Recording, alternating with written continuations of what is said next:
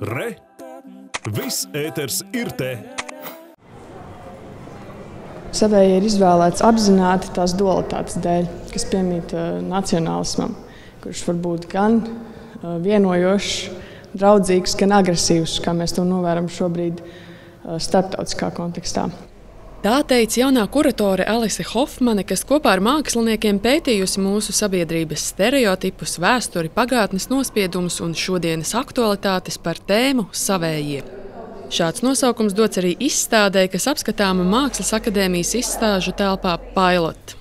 Tas ir brīnišķīgi, ka uh, izstādē kuratore ir uh, spējusi savākt darbus, kas tik dažādi apskata šo nacionālismu tēmu. Un tad, protams, arī šis fakts, ka jauns kurators izvēlās deponēt uh, darbus no, no jau aizgājušiem autoriem, liekas ļoti uzteicams un skaisti veido, veidojās šī saruna. Tie ir Džemas Skulmes un Elvīras Pinnis darbi, kuros parādās tautu meitas. Skulmes vārds komentārus neprasa. Elvīra Pins uh, ir uh, izvēlēta tāpēc, ka šī figūriņa uh, rada atsauci uz šo pašu tēlu figurēšanu gan, gan, gan pirmās brīvvalsts laikā, gan arī pēc tam padomju laikā, kas parādās džemas darbos.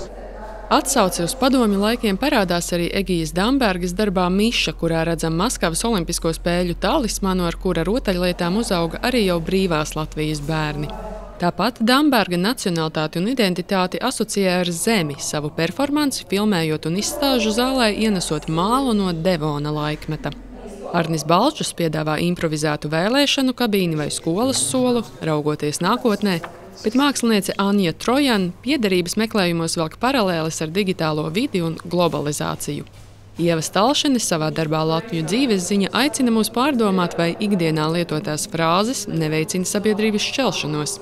Mēs bieži vien nepievēršam uzmanību tam, ko mēs sakam un ko tas kā, manifestē mūsu tajā sabiedrībā. Un viens no nācijas pamata radīšanas kaut kādiem tiem elementiem ir valoda. Tas ir viens no pirmajiem elementiem, kas cilvēks apvienoja nācijās. Līdz ar to es arī izvēlējos izmantot valodu, izmantot šīs frāzes. Es ceru, ka cilvēki viņas lasot, aizdomāsies, ka hmm, tur kaut kas nav kārtībā. Jaunie mākslinieki aicina izaicināt savus priekšstatus, un to eksperimentālajā mākslas telpā Pilot būs iespēja izdarīt līdz 13. septembrim. Anita Ašmane Vilsone, Mārtiņš Avots, Latvijas televīzija.